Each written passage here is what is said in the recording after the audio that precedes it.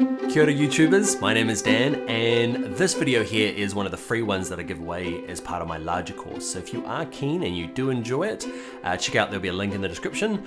Uh, but for now, let's uh, go off and look at the free stuff. When you're working with a responsive layout in Photoshop, I use the term column, grid, and guides a lot interchangeably because the overall term is called a grid, but really when you're looking at them, they're just columns. And to define those columns in Photoshop, we use guides. Confusing? Yes, kind of.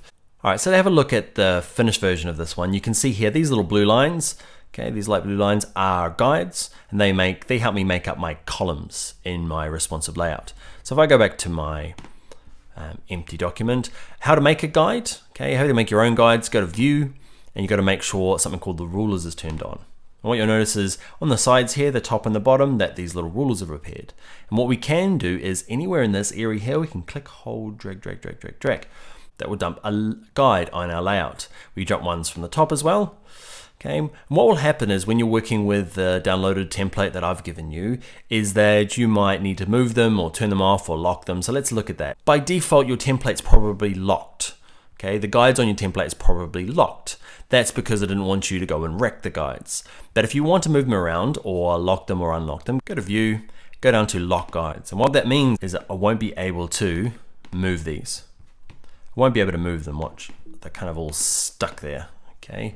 If I want to unlock them, I untick this and then the cursor changes a little bit and I can move them around afterwards. Say there's a guide that I don't need anymore. What you can do is you can select it and to delete it, you click hold and drag it and you just drag it back into the ruler where you got it and it disappears forever. Okay, I'm gonna delete that one, go back over there. When you are working though, you'll notice on say this one here, those guides can be quite distracting. Helpful when you're first laying out, but quite distracting later on. So what you can do is turn them on and off. So go to view, and there's one under show, and it's this one here called guides. Now you see the shortcut here, it's command and semicolon or control semicolon on a PC. I use that in quite a bit. Okay, so when I'm working, I'm hitting command semicolon on and off to turn them on and off while I'm working because it's a lot easier to see and kind of get a bit of a visual going without the guides. But structurally, the guides are quite helpful. That's your Ricky on how to create, modify, delete guides. Now, I love to share, so I've made a few of these videos free. Of course though, I'd love for you to go on and do my full course of over 50 videos. There's a discount code in the description. Please like and subscribe, and hi da good YouTube people. Now I'm saluting and waving, but you can't see that, can you?